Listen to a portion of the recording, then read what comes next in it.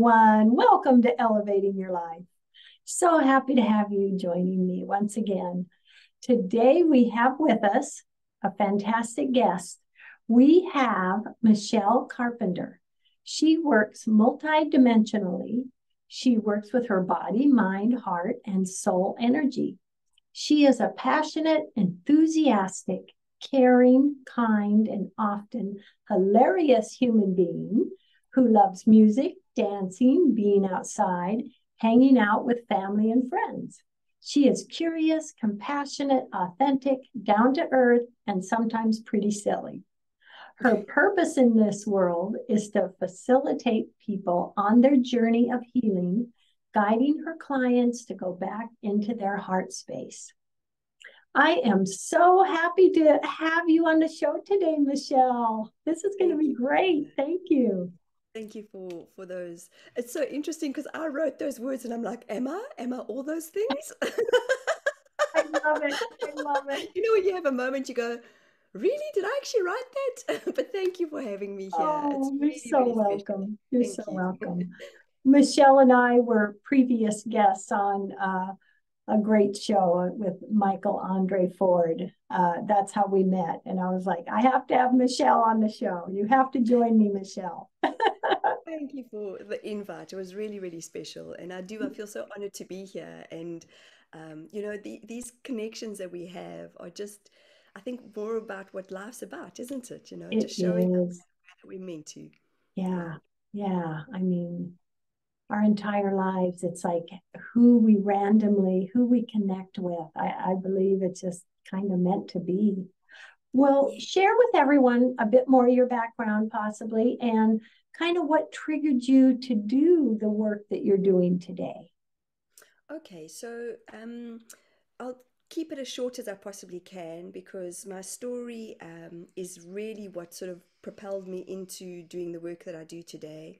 Uh, a big part of my life was uh, in, in, in what I um, have worked through is a huge amount of trauma and a huge amount of grieving and a huge amount of chaos and a huge amount of working with my my, my, my nervous system.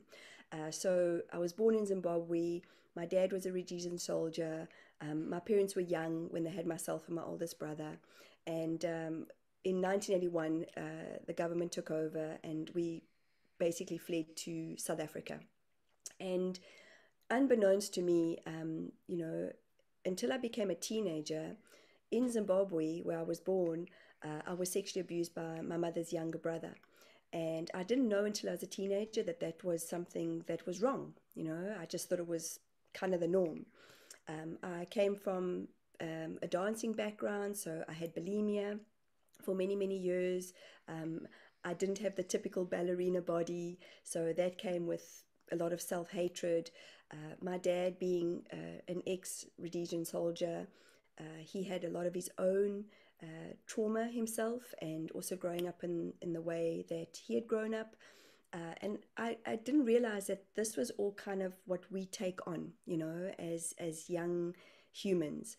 And I then lost my best friend at the age of 16. I had went from one relationship to the next out of school. My dad had had affairs when I was young, and all I was doing was seeking for love. And then I had a very big, big experience in my life. I was a sales rep and I was driving and I looked down and I put a straw into a cool drink and um, I was on my side of the road and a young girl had run across the road and we collided. And it was, a, I believe, um, when I've done past life therapy or hypnosis on my, um, that I've had therapy, you know, um, somebody working on me, that this was a soul contract that we had.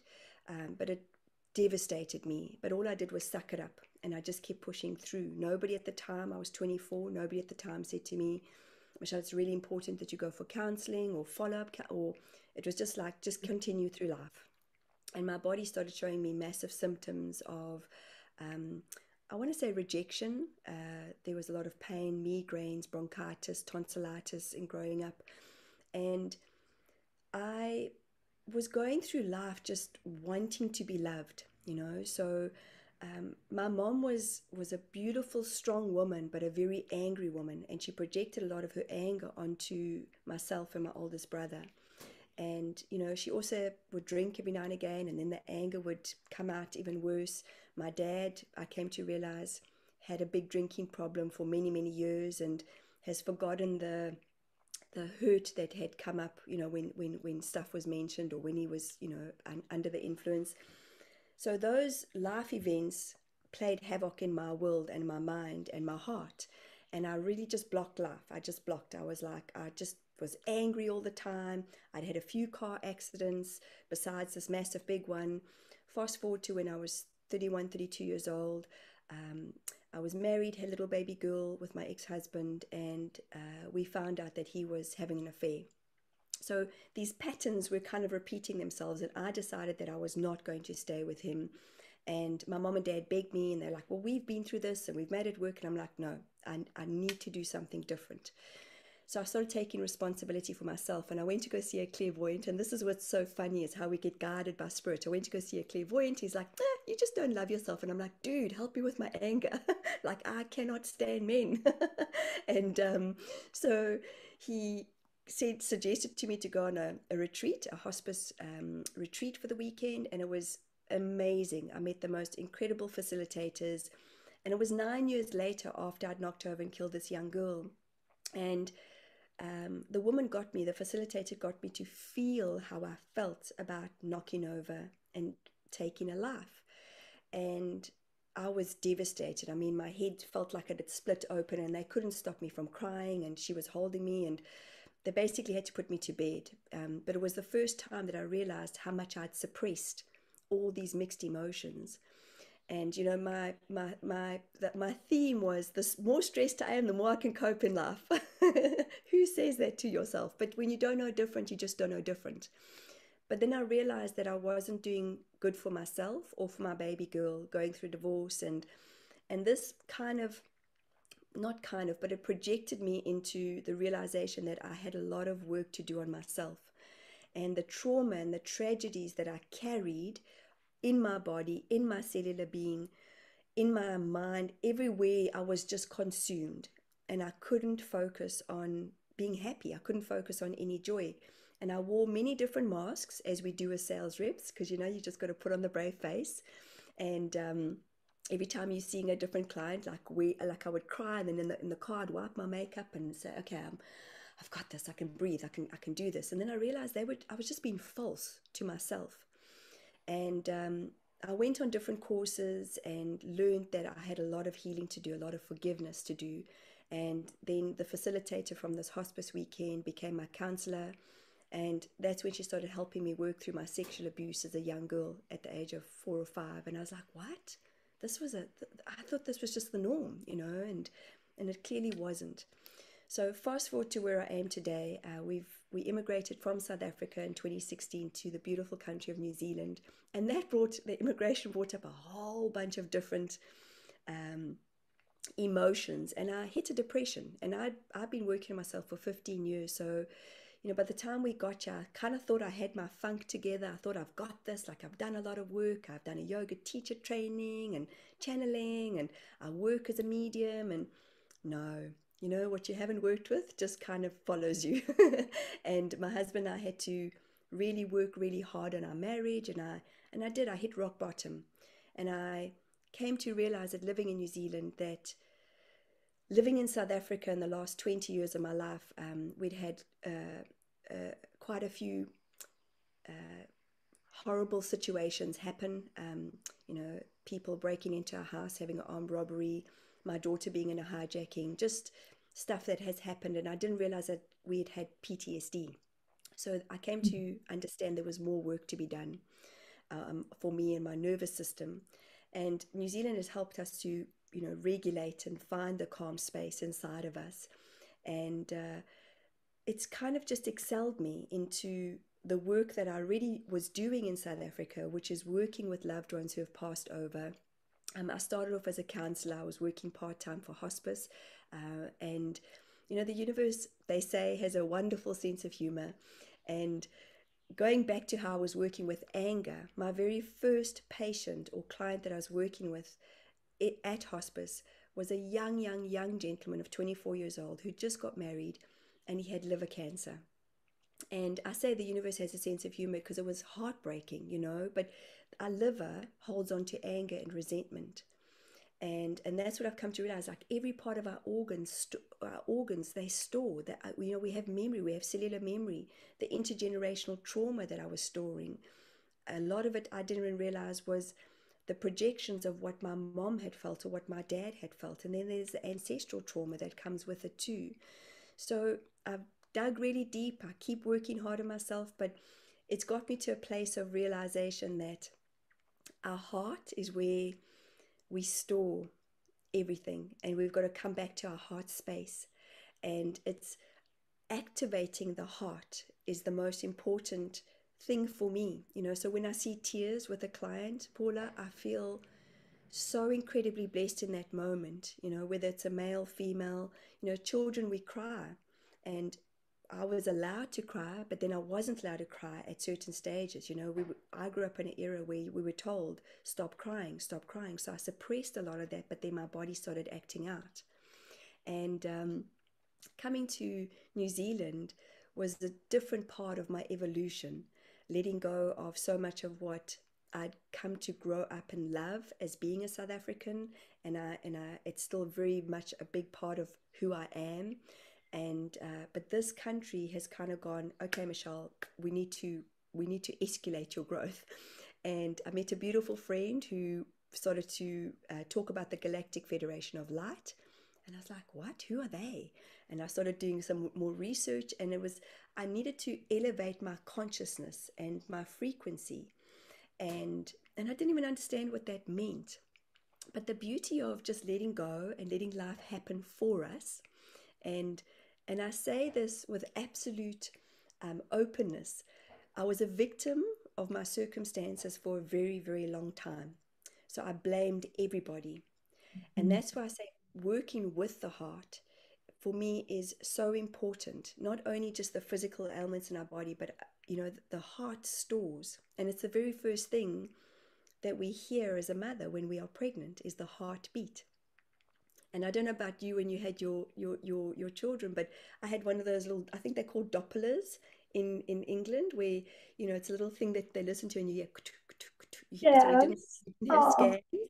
and you know it's fascinating because it's the first thing that we listen to well the yes. first thing I listened to when I was pregnant with my daughter and and then we come into this world and we just for me I just forgot life was just so clouded and it just felt chaotic and there was the good but there was the equally um, the the chaos and the and the and the, the the like there was just a lot of fighting that my parents um, had got involved in, and no fault of their own.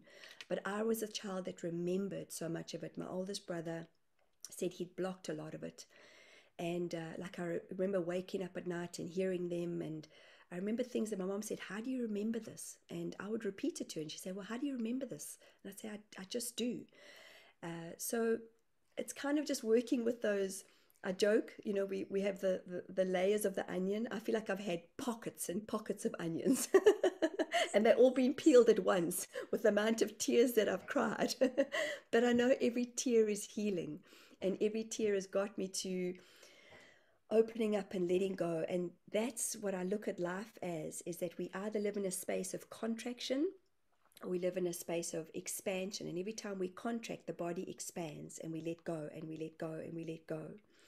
And i'm very honored that over this time of expansion meeting friends who um, channel uh, different beings of light i've now started uh, connecting with angelic beings of light called the council of eight. And as you mentioned i work very multidimensionally so I'm able to, you know, connect into the field of the person, of the human body. And, and then um, I'm able to connect with loved ones who have passed over. And then when I channel, it's Michelle, the personality steps aside and then they come through me. Wow. And, uh, and I, I'm still able to feel, you know, like when the information comes through, I'm able to feel the heart sensation. So uh, let's say if a person's holding on to pain, I kind of see it symbolically as a, as a, as a, as a cross in the heart, you know. And um, but as soon as the heart lets go, I feel the vibration lifting. Um, so I'm I'm just incredibly grateful and to do this work and to hold space for human beings that want to be different and and I feel like I'm the bridge between the human and the spiritual and and I love how um, th- this has come to me and I know that in my life and I did a long long time I was just so angry and so resentful and so saddened by why did this happen to me like why have I gone through so much I now have come to realize in the last probably 8 to 10 years I've been working um, for 15 years doing this work that I love so much that it's happened for me. And it was all part of what my soul had decided in this lifetime. And I say it with a big smile on my face, but it's often hasn't been a happy space to be.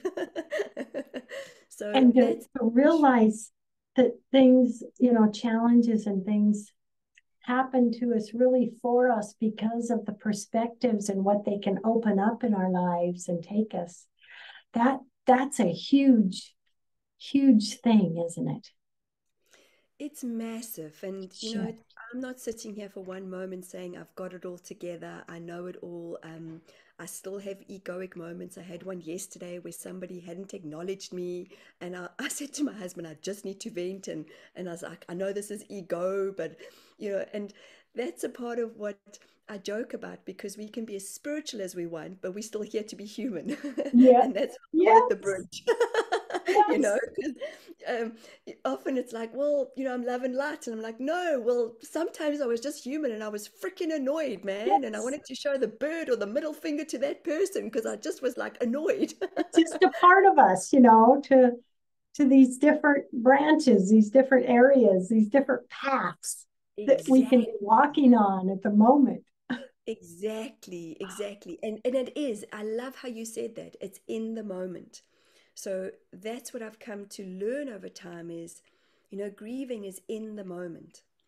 Yes. Whether somebody lost somebody 20 years ago or three months ago, the grief is real in that moment, you know, and um, and again, I just I say this as humbly as I possibly can that there are so many people who are really saying, there's got to be something different. We want different, you know, and mm-hmm. and people are so brave and courageous. You know, we use the word encourage, but I spell it I N. And when we encourage, we have the courage to move forward. We have the courage to to excel. We have the courage to sometimes in my understanding of my world, like spiritual, like boom, Shell, okay, let's create another experience. And I was like, hey, la la la la. I'll just get on with life. And they're like, okay, well, we'll just have to make it bigger. And eventually I said, okay, stop. I've got it. I've got the picture. And um, and some of us just need that wake up call, you know, and it's not right or wrong. And sometimes it takes us a little bit longer.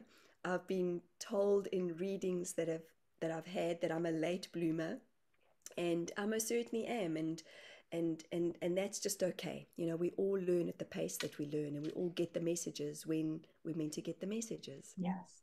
And sometimes you know we can all benefit from you know being with someone or something helping us to make that little move to let go and move forward. You know i'm going to move on. I'm going to open this up in my life. I'm going to move on. That's a that's a huge thing when that door can be opened, isn't it? Absolutely. And Freedom. Yes, and my understanding and sense is that we're always being guided. And like as an example, I don't know if you remember the chicken soup for the soul books. Oh, yes. Yes. Okay. Now, I I happen to I think somebody gave one to me, and I can't remember which one it was, but I always always always remember this one story out of it, where this gentleman had a had a restaurant and he had been shot, and um, he was in he was being rushed into hospital, and he could hear them. He could hear all the paramedics saying he's dying, he's dying, and he said it took everything inside of him to open up his eyes and say, I am not dying. I, you need to work on me as that I am alive. Like I can't remember his exact words because I was a teenager. And he then says, you know, everything is a choice. Everything is a choice in life. You know, you get up, we choose to brush our teeth, we choose to wash our hair, we choose to get dressed. Cho- and I was like, wow. Now that was gifted to me and I've just remembered that. Thank you, because like you know, it was one of the most special books that I'd ever ever um, read, and you just have these moments where you go, aha. It's kind of like somebody gives you a book and you're like, Mm-mm, I don't want to read that because I don't think I'm ready into empowerment or self-help or anything. It's like you buff it, you know, like, Mm-mm, no, no. And, um, but yet spirits are giving you the gentle nudge. And I had that many times. I was just like oblivious. Yes. yes. Ah. Yeah. And, and spirit can give us messages. It can give us signs, you know, something in a cloud, and an animal or a feather. And I mean, so many messages, messages from loved ones or past pets. I mean, so many things are out there. Share with everyone your website and a bit of, um, they can get on that, learn more about you and what they they may um, expect, you know, with setting up a, a, a council with you and, and working with you? What kind of doors it can that open for them? Okay, thank you for asking. Um, so my website's www.michellecarpenter, it's double-L-E.co.nz. And at the moment, um, there's a mediumship which they can book in, which is where I work with the grief and trauma and loved ones who passed over. And sometimes spirit drop in randomly. It might be an ancestor, it might be somebody that they don't know or didn't know, like a granny or grandfather, and they're like, I don't know how to answer it, but they give the messages that are very much needed in this moment and they give the guidance. And then I work a lot with music, and um, sometimes even when spirit come through, they'll want to play a song and I'll put a song on and somebody will go, oh my God, how did you know that? That's my wedding song. Um, so that's the mediumship and we work a lot with uh, just helping the human body. I, I use breath and I just able to connect. I, I'm able to connect into the unconscious energy that perhaps for those of us who have lived in our heads for such a long time don't even know that there's a connection into our body. So I'll just bring awareness and attention into the body for a person sitting opposite me. Then um, we have the Council of Eight um, sessions, which is where they come through the, these beautiful angelic beings of light and they have beautiful tonings. I kind of sound like an opera singer, Paula. Like it amazes me what comes through this mouth. um, but Michelle, the personality, steps aside and they give us what we need to hear. They talk about Akashic records, uh, past lives. Uh, people come with questions, which are really, really beautiful. And, um, and then they work a lot with just the vibration of the human. And again, they, they share with us what we need to know, not what we want to know often. And uh, we have wonderful gatherings every Monday morning at 8 a.m. New Zealand daytime, uh, which is Sunday in the States and the rest of the world. And uh, it's an hour and a half. And they're such beautiful um, moments of community, you know. And I think a lot of us are searching, a lot of us that are that have perhaps felt alone on our journeys, and I most certainly have a lot of the times. Um, like who do I turn to? Who can I speak to? You know, when we just in when I've been in a moment of I don't understand what I'm seeing. I don't understand what Mm-hmm. what you know. It, sometimes you just don't have that mentor or the teacher that's meant to be there because we've got to work it out ourselves.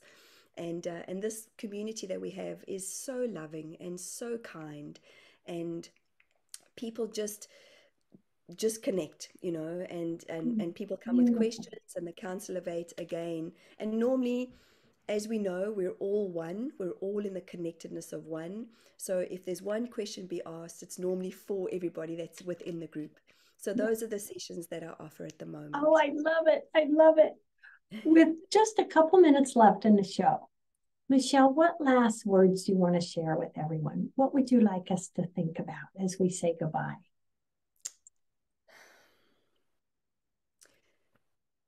go into a space and as I am, just putting your hands on your hearts. And for those of you who perhaps, you know, um, might not see this but might hear it, just put your hands on your heart and just feel your heart beating in this moment and say, Thank you. Thank you for the beat. Because every beat is different, everybody's rhythm is different, everybody's life story is different, and not one of us are the same. We, hence, we all have different thumbprints. And we're unique and we're all miracles. And that's just going back to a simple, simple exercise is placing your hands over your heart, taking a few big breaths, and thanking your heart for being here in this space. So I hope that Oh, helps somebody. Oh, that is beautiful. That is beautiful. And isn't it a wonderful thing, Michelle, to celebrate how we are all each so unique?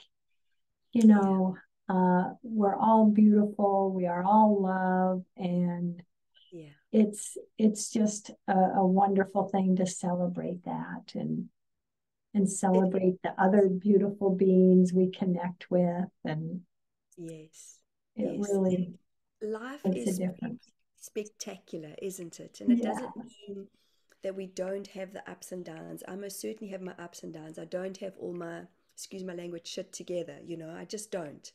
But that just makes me kind of go, okay, there's more.